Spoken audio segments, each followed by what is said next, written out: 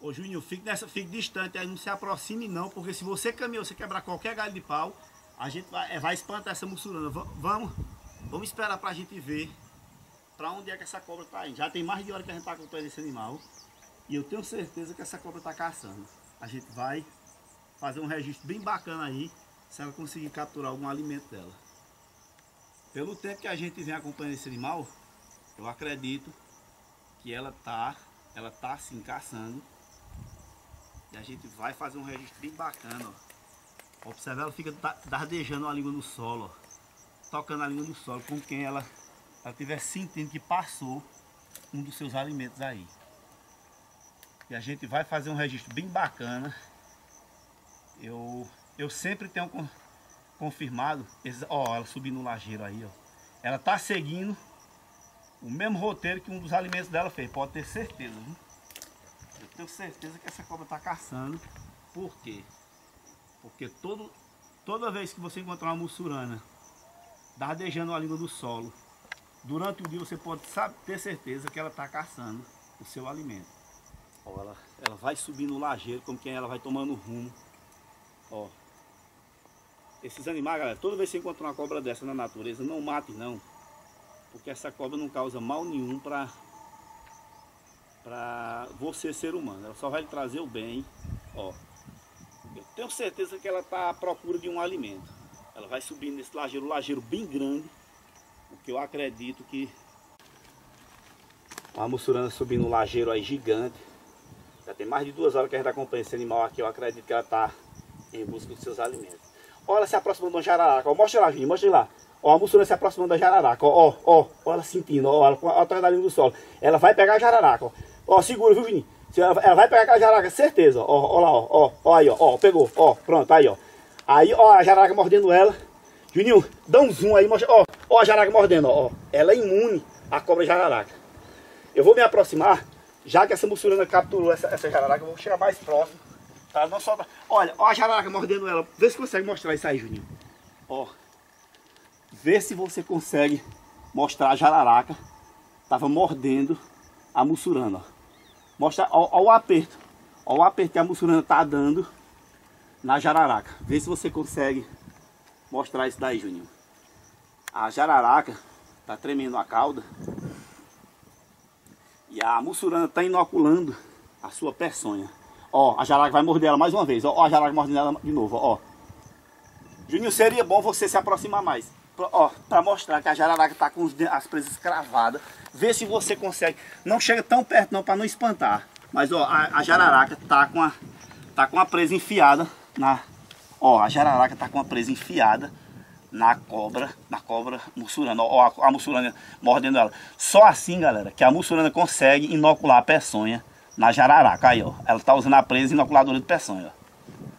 Juninho, observe que a jararaca já se entregou, ou seja, a jararaca já está morrendo. Por quê? Porque a mussurana já inoculou muita peçonha na jararaca. A diferença aí é que a mussurana é imune ao veneno da jararaca. A jararaca praticamente já está morta, quer ver? Ela tá, ela mal está se movimentando. Ó, observe isso daí, que, que bacana. Ah não, tá vivo, ainda tá vivo. Eu acredito que a jararaca vai investir, vai dar outra investida na mussurana. Observe isso aí, como é que é interessante. Essa é uma mussurana o quê? de mais de 2 metros de comprimento. É um animal grande. É um animal que eu acredito é, já ter aí seus 7 a 8 anos aqui na natureza. Deixa eu ir pra frente aqui pra conseguir. Deixa eu ver se eu consigo fazer uma. Ó, a jararaca tá com a cabeça bem, bem inchada. O que dá assim a entender que a mussurana parece que mordeu na cabeça da jararaca também, não foi? Ó, a mussurana está procurando a cabeça dela. Na hora que a mussurana encontrar a cabeça da jararaca, ela vai inocular, ela vai, ela vai começar a engolir a jararaca pela cabeça. Ó. Agora ela já inoculou, galera. Do jeito que a, que a mussurana mordeu a jararaca, do jeito que ela, ela mordeu essa jararaca, aí você pode ter certeza. Se você pegar essa, tomar essa jararaca dessa mussurana, pode ter certeza que a jararaca vai morrer. Ela não sobrevive, porque a diferença aí é que a mussurana é imune à toxina da jararaca malhas de sapo. Ó, Já, já a jararaca pode morder a mussurana por, por várias vezes. Mas a mussurana é imune ao veneno da jararaca e da cascavel. Ó, a jararaca não está mais nem investindo, tá praticamente entregue. Por quê? Porque a mussurana já inoculou muito a sua peçonha. E assim ela já tem certeza que conseguiu é o que ela queria aí. Eu tô aqui, ó, pouco mais de, de dois metros de distância desse animal. É... Outra coisa, galera. As cobras mussuranas, elas não são de temer ao ser humano quando elas estão é, capturando seus alimentos, não. Então, se você encontrar uma mussurana pegando outra serpente, se você não tocar na mussurana, ela não vai abandonar o alimento. Ela vai se alimentar normal, como se fosse uma cobra mansa, uma cobra acostumada com o ser humano. Toda vez que a mussurana está mordendo a jararaca, ela está inoculando uma peçonha poderosíssima que ela tem aí, que serve para o seu alimento. Ou seja, serve para que a jararaca faça aí é, a digestão mais rápido. Toda mordida que ela está dando aí, ela está inoculando a peçonha, pode ter certeza. E também quando ela começar a engolir, quando ela encontrar a cabeça da jararaca, ela vai começar a engolir pela cabeça e assim ela inocula mais parte da peçonha. É porque ela está enrolada, ela enrolou a cabeça da cobra ali, ela não está conseguindo achar, está inquieta. Olha, eu tenho mostrado os meus conhecimentos que a cobra mussurana ela não dá investida no ser humano. Ela não ataca, mas como ela está esse alimento, ó, ela está chegando na cabeça, ó, ó, ó, ela chegou na cabeça da jararaca, ó, ó, aí pegou pela cabeça, pronto. Agora ela vai engolir, ela vai passar rapidinho para dentro porque faz parte aí do seu alimento. A mussurana está com bastante fome e assim ela vai passar para dentro aí bem rapidinho e a gente vai fazer o registro aí bem bacana, mostrando aí para essa galera que curte essa natureza, para essa galera que é, sempre acompanha aí os vídeos do Rei das Serpentes e acha bacana o trabalho que a gente apresenta aí no YouTube. Ó galera, esse registro está sendo feito agora no mês de maio, hoje é 7 de maio de 2017. É, vamos fazer esse, estamos fazendo esse registro aqui, deixando marcado a data, para que você que mora aí no, na, na fazenda, você que está sempre em contato, olha como ele engole rápido, em contato com os vídeos do Rei das Serpentes, você tomar conhecimento das nossas matérias, como é que isso é feito aqui na natureza. Então aqui está mais um vídeo, eu já tenho um vídeo aí no canal mostrando esses animais se alimentando dessa forma na natureza, mas sempre meus vídeos são bem-vindos. Quando eu sempre meus vídeos são são elogiados pelos fãs, pela galera aí que curte o nosso trabalho, eles acham bacana. Então tá aí, ó. Mais um registro aí de uma mussurana de 2 metros a 2 metros e 10 mais ou menos, é um animal bem grande. Tá aí passando para dentro uma jararaca também bem grande. Essa jararaca, galera, ela é responsável por...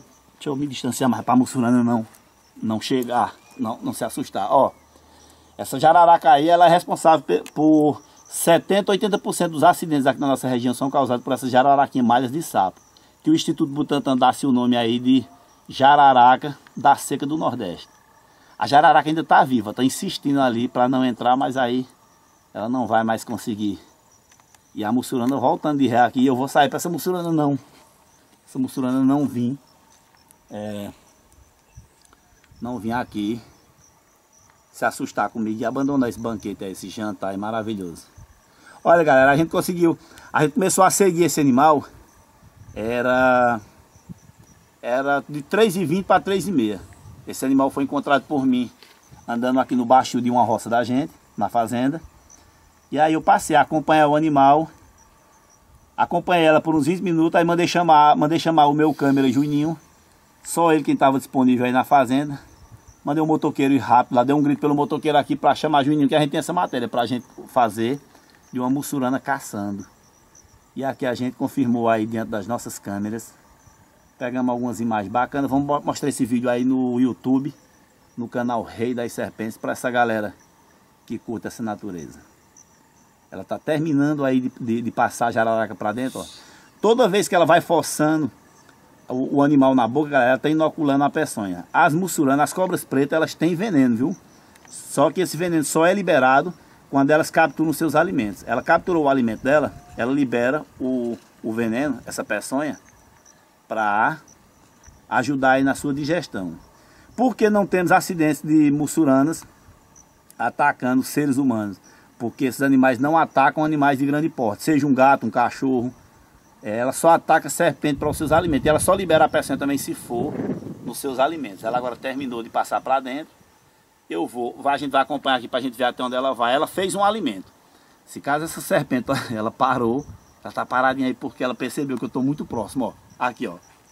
Ela, ó, do jeito que a mussurana está aqui, galera, ela, ela, ela pode dar uma investida aqui. Por quê? Porque ela, tá, ela ainda sente é, cheiro da jararaca que ela estava se alimentando.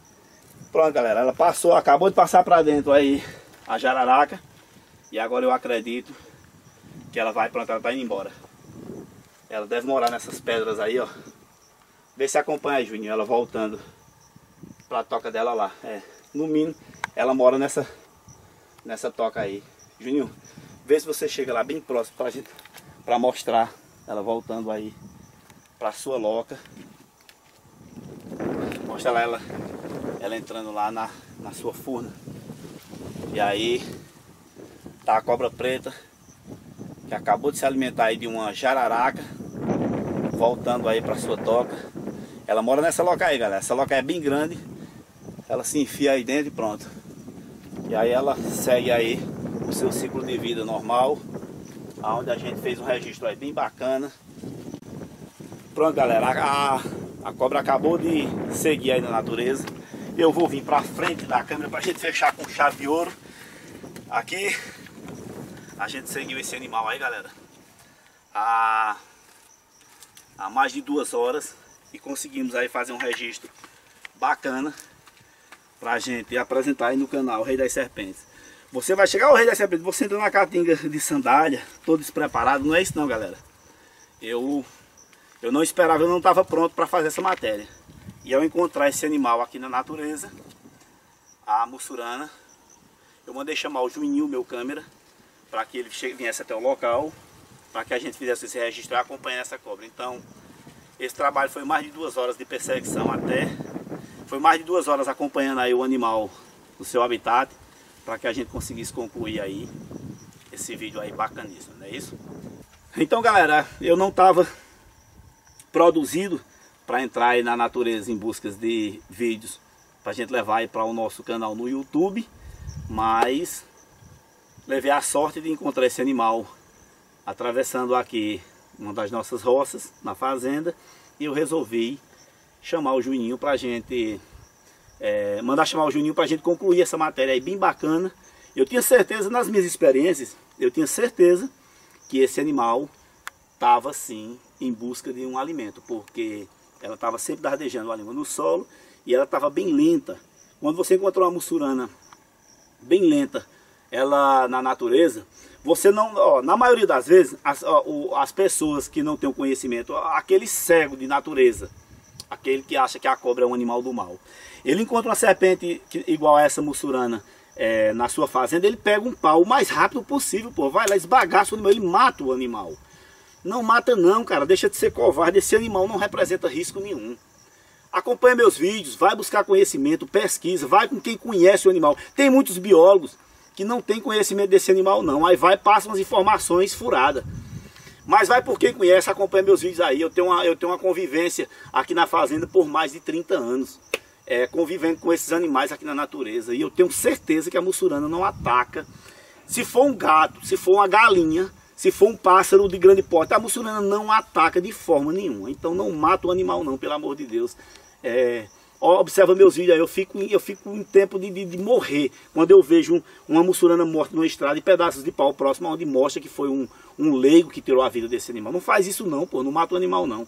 Acredita no rei das serpentes, tacar a porra do cara que tem o prestígio que eu tenho aí pra, nas redes sociais, a quantidade de seguidores que eu tenho, mais de 200 milhões de visualizações nos meus vídeos. E E você, e você acha que eu ia chegar, mostrar minha cara, mostrar quem eu sou, mostrar a cidade pertence, a fazenda, onde a gente se encontra. Já dei entrevista para vários canais de TVs. E assim, você ainda não acreditar no que eu apresento e matar uma cobra mussurana. Pelo amor de Deus, não mate não. Você vai matar um animal sabendo que está matando um animal que não vai te fazer mal nenhum. A mussurana não representa risco nenhum para o ser humano. Os conhecimentos são mostrados em meus vídeos. No dia a dia a gente tem mais de, de 500 vídeos postados nas redes sociais. Acompanha, que a gente só leva o que a gente tem conhecimento, o que a gente realmente tem a certeza de que esse animal faz aqui na natureza. Então, fica bem claro, as mussuranas não oferecem risco nenhum, não matam esses animais. Ao encontrar esse animal na natureza, não tenha pressa para matar não. Pegue sua câmera, pegue seu aparelho de celular e faça um registro. Vai lá, faz um registro acompanhando esse animal e mostra que ele, esse animal saiu ou para beber água, saiu aí porque estava com sede, foi... Esse animal vive na, na, em ocos de árvore ou dentro de frestas de pedra, de buracos debaixo do solo. Então, quando esse animal sai, galera, ela não sai para passear, não. Ela saiu ou para um acasalamento, ou saiu para tomar água, ou para capturar seus alimentos, porque ela está com fome. Mais uma vez, Haroldo Bauer apresentando aí uma linda mussurana, uma mussurana com mais de 2 metros de comprimento, se alimentando aí da cobra jararaca, malhas de sapo, nomeada pelo rei das serpentes. E o Instituto Butantan dá seu nome aí de jararaca da seca do Nordeste. Galera, eu peço a você que está chegando agora aí que Compartilhe esse vídeo. Se inscreva no canal, que isso é de grande importância para ajudar o canal do Rei das Serpentes.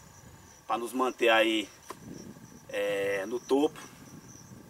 Peço a você que está chegando agora que se inscreva no canal. Isso é muito importante para que a gente leve esse trabalho que a gente apresenta aqui para os nossos fãs. Meus vídeos são produzidos para informações, para quem curte esse, esse tipo de conteúdo, para quem curte essa natureza.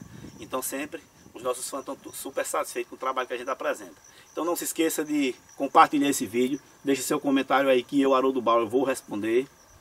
É, sempre vou estar interagindo com os meus fãs e meus seguidores. E meus vídeos são feitos para vocês, seguidores, vocês internautas que curtem essa natureza, ok? Então tá aí mais um belo vídeo aí de Haroldo Bauer, o rei das serpentes, para essa galera que curte essa natureza, ok? Pode parar aí, Juninho, tá valendo.